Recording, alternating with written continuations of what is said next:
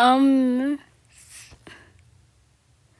um, my FlipaClip is like this, and I don't know why I tried to do that. Um, um, FlipaClip premium, and it just went like this, and I'm just, uh, I don't know.